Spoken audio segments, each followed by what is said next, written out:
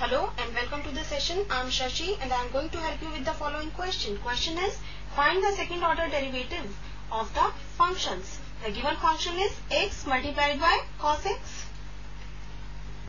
Let us start the solution now. First of all, let us assume y is equal to x multiplied by cos x.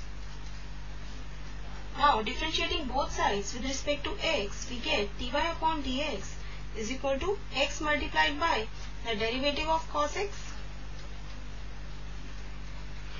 plus cos x multiplied by derivative of x. Now this is equal to x multiplied by minus sin x plus cos x multiplied by 1. Now we get dy upon dx is equal to minus x sin x plus cos x.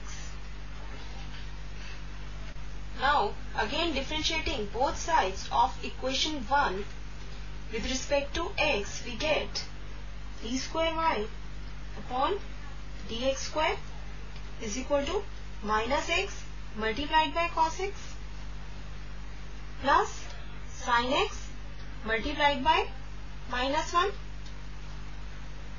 plus minus sin x. So this implies d square y upon dx square is equal to minus x cos x minus sin x minus sin x.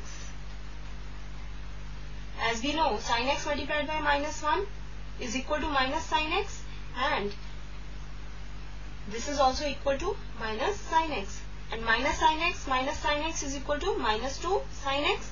So, we get second derivative is equal to minus x cos x minus 2 sin x.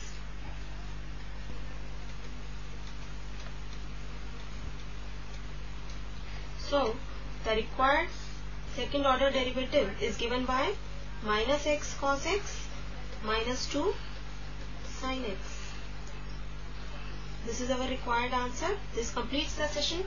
Hope you enjoyed the session. Goodbye.